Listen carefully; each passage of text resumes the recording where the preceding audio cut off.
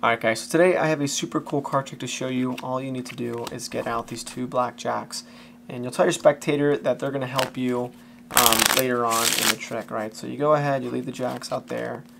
You have the spectator pick any card they want from the middle. Okay, so in this case I'll go ahead and show you guys the card.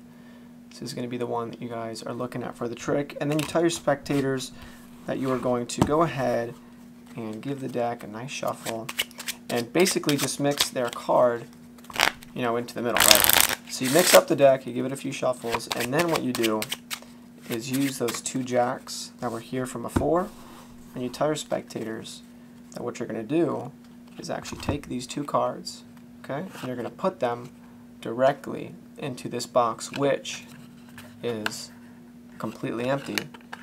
Stick the jacks inside, you close the deck up so you can't reach it. You can give them to the spectators if you want, and then the next thing you're going to do is take the deck of cards, have your spectators snap. You can have them go ahead, go ahead and look through the entire deck of cards only so they can realize their card is actually over here in the box. So this is the trick, and if you guys want to learn how to do it, don't forget to stick around for the tutorial. Alright, so here's how you're going to be able to do the trick, right? So you go ahead and you take, you know, whatever two cards you want. In this case, you can do jacks, aces, just, you know, just a pair of cards, show them to the spectator. Make sure that the spectators know there's nothing in between them, and then just leave them face down on the table, okay? So that's all you gotta do for the setup, and then you can shuffle the deck, or you can have the spectators shuffle the deck, have them pick any card they want to, and from here in this case let's say it's the two of diamonds all you have to do is control it to the top. So I'm not going to teach it in the video but if you look up a link you can learn how to do the double undercut.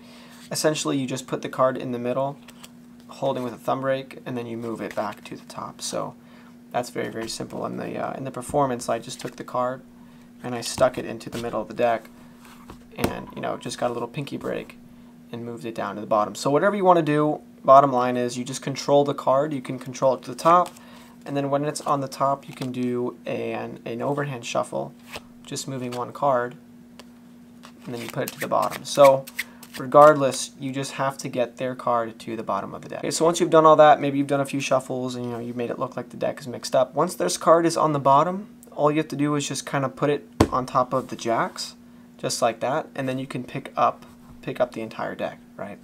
So what you'll have, and you don't want to spread the jacks and then and then you know flash the card, right? So you don't want to flash the two of diamonds because obviously that's their card. You know, you spread it and they see their card doesn't look good. So what you have to do um, is you can do a triple lift and just you know just grab three cards.